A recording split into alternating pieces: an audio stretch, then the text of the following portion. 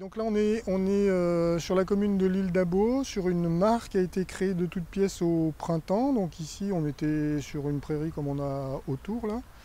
Et on a créé cette mare au printemps. Donc euh, ça s'est fait dans le cadre du contrat vert et bleu euh, sur la Bourbre et en partenariat avec plein de structures. L'école qui est juste derrière nous, euh, un, club de, un de sport de, triathlon qui est présent sur, euh, le secteur et euh, le département qui a contribué également au financement, à la création de la mare. Alors ce projet il n'est pas terminé aujourd'hui puisque là on a installé un hôtel à insectes, il y a des panneaux pédagogiques qui vont être installés.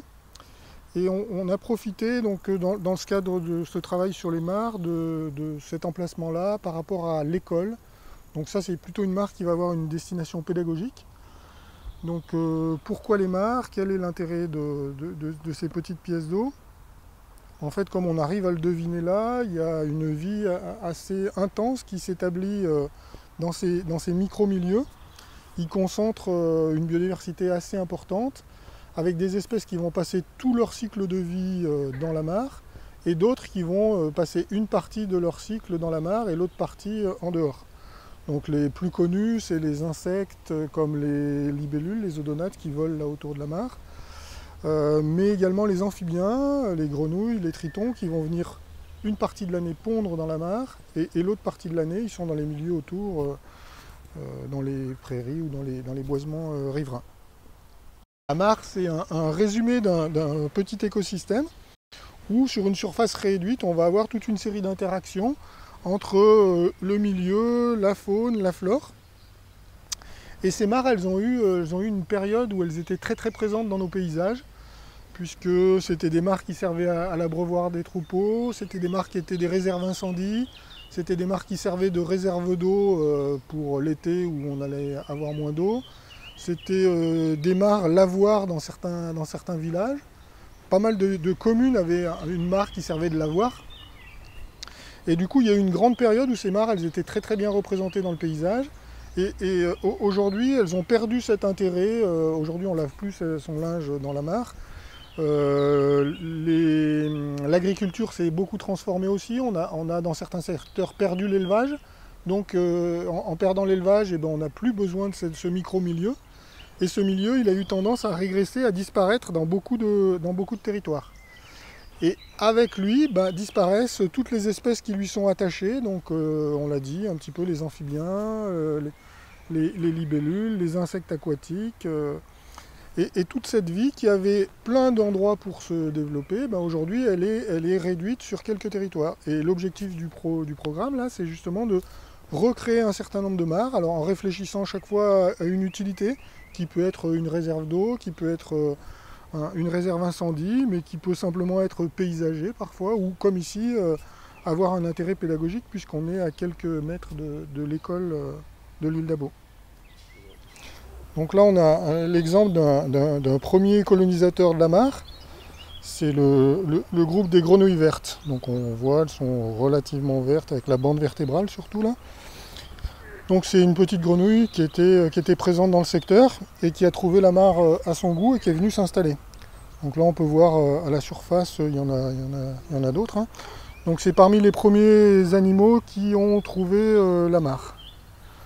Donc les grenouilles vertes, on voit aussi en regardant qu'il y a pas mal de têtards là. Donc la mare elle a été créée ce printemps. Et, dès, dès la, quelques mois après, on, est déjà en présence d'une petite population de grenouilles vertes qui s'est installé avec les, pontes, puisqu'on voit très bien tous les têtards sur, les marges qui sont présents. Alors cette grenouille, bah, elle, a trouvé un milieu qui lui convient bien. Elle était sur le ruisseau qui est juste à côté. Mais là, c'est une mare. Donc par rapport au ruisseau, la température de l'eau, elle est un peu plus fraîche. Alors que là, c'est de l'eau, et c'est de l'eau courante donc qui, continue à circuler et qui est donc plus fraîche. Alors que là, c'est de l'eau qui stagne, qui stagne au soleil, comme on voit là. Et du coup, euh, la température de l'eau, elle est plus intéressante pour eux. La productivité de ce milieu est aussi beaucoup plus forte. Donc du coup, bah, il y a plus à manger, euh, c'est plus agréable comme, euh, comme milieu que, le petit ruisseau à côté. Donc là, on vient de trouver un, triton palmé qui aujourd'hui n'est pas encore arrivé à recoloniser la mare qu'on a créée au printemps. mais comme on vient de le voir, il est à quelques dizaines de mètres là. Et, la mare, on l'a un peu faite pour lui, puisque lui, il est plus sensible que les grenouilles euh, à la présence des poissons. Donc du coup, euh, il y a des poissons dans, le ruisseau, il ne devrait pas y en avoir dans la mare. Et l'idée, c'était de créer ce milieu un petit peu différent, comme on, en a déjà parlé, euh, avec une eau, stagnante, donc plus chaude, plus, productive et qui est très favorable aux, tritons, notamment palmés et alpestres, qui sont présents sur le site. Donc là, on a trouvé euh, une petite femelle de triton palmé, et il y a les deux espèces qui sont présentes sur le site, mais a priori, pour l'instant, elles ne sont pas encore revenues dans la mare. Donc là, pour, euh, le vérifier, il faudra repasser de nuit avec une, lampe torche, puisque les, tritons ont une activité un petit peu plus forte la nuit que le jour ce programme il s'adresse euh, aux collectivités, communes ou communautés de communes. Et euh, donc c'est une opération qui est, blanche financièrement pour elles. Euh, la seule contrainte, la seule demande, c'est qu'elles mettent à disposition un terrain pour accueillir cette mare. Et ensuite, toute l'ingénierie pour créer la mare, le financement, il est apporté par le programme, le programme mare du contrat vert et bleu si, une communauté de communes est intéressée, elle peut, se faire connaître auprès du SMAB ou auprès du Conservatoire des espaces naturels de l'Isère.